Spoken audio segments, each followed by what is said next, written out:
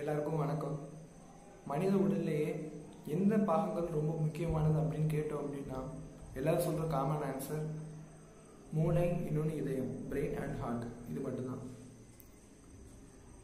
ஆனால் நம்ம இந்த நாள்தோறும் செய்கிற சில எல்லாரும் பண்ணுறாங்க நம்மளும் பண்ண என்ன அப்படின்னு சும்மா நாள்தோறும் பண்ணுற ஒரு ஒரு அஞ்சுக்கும் மேற்பட்ட பழக்க வழக்கங்கள்னால அந்த பிரெயினும் ஹார்ட்டும் அட்டாக் ஆகுது அப்படின்னு சொன்னால் எத்தனை பேர் நம்புவீங்கன்னு தெரியல பட் ஆனால் அதுதான் உண்மை.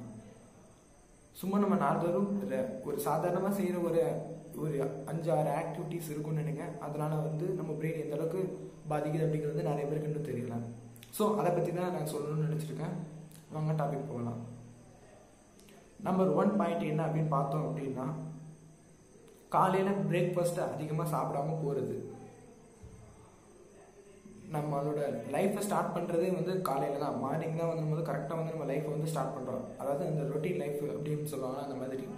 காலையில இருந்து தான் வந்து நம்மளோட அந்த லைஃப் ஸ்டார்ட் ஆகி ஈவினிங் அல்லது நைட் ஆகுற வரைக்கும் நமக்கு வந்து எனர்ஜி தேவைப்படும்னா ஃபர்ஸ்ட் காலையில் அதிகமாக வந்து நம்ம சாப்பிடாம போ சாப்பிடணும்.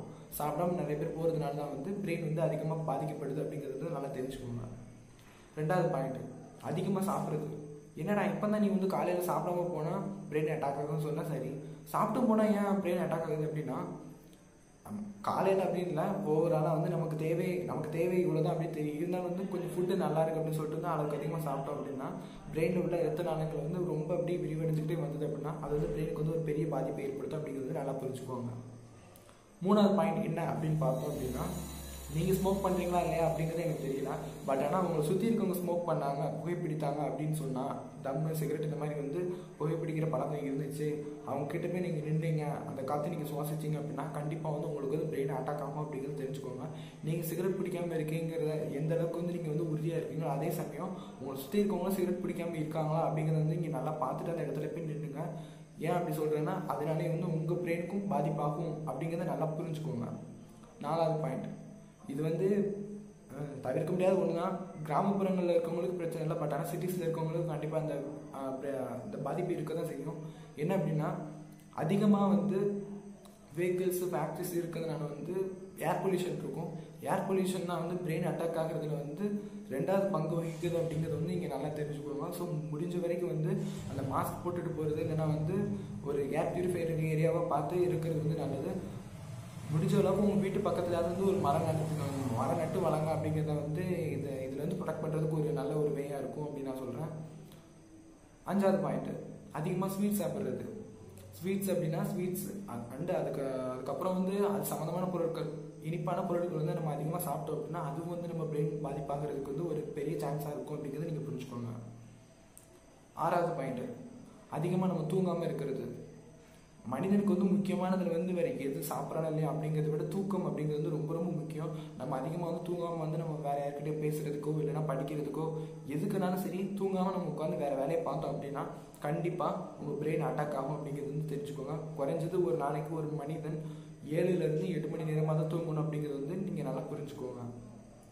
ஏழாவது பாயிண்ட் ஏழாவது பாயிண்ட் என்ன அப்படின்னா நிறைய பேர் பண்ணுற பெரிய மிஸ்டேக்கு இதுதான்.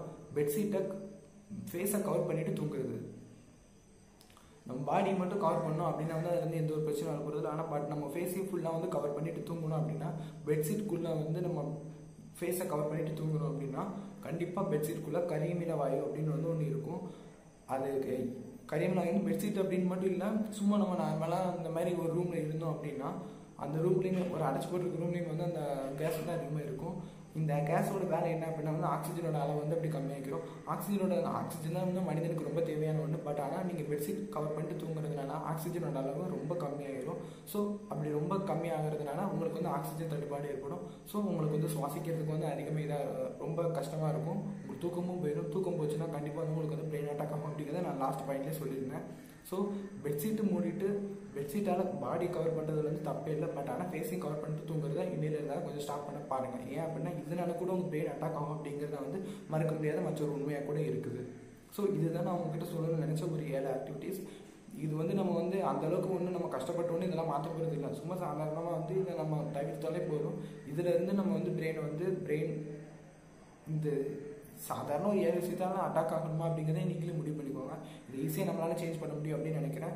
இது நான் இந்த தெரிஞ்சுக்கிட்டு எனக்கு தெரியறதுக்கு முன்னாடி நானும் இதெல்லாம் தப்பெல்லாம் பண்ணியிருக்கேன் தான் பட் ஆனால் தெரிஞ்சதுக்கப்புறம் இதில் வந்து நான் வந்து முற்றிலும் வந்து மாற்றிக்கிட்டேன் இது மாதிரி நீங்களும் மாற்றிக்கிட்டீங்க அப்படின்னு நான் நம்புகிறேன் இந்த மாதிரி வேறு வீடியோ வந்து எனக்கு தெரிஞ்ச விஷயத்தை நான் வந்து உங்கள்கிட்ட சொல்லணும்னு நினச்சிங்கன்னா கீழே வந்து கமெண்ட் பண்ணுங்கள் இல்லை உனக்கு நீங்கள் பேசுகிறது இன்னும் கொஞ்சம் பெட்டராக பேசலாம் அப்படின்னா உங்களோட ஒப்பீனியன் சொல்லுங்கள் நான் தெரிஞ்சுக்கிறேன். மறக்காமல் கீழே வந்து அன்பு கொஞ்சம் சப்ஸ்கிரைப் பண்ணுங்கள் லைக் பண்ணுங்கள் கமெண்ட் பண்ணுங்கள் ஷேர் பண்ணுங்கள் அன்பால் இணைந்திருங்கள் அன்புடன் இணைந்திருங்கள். நன்றி.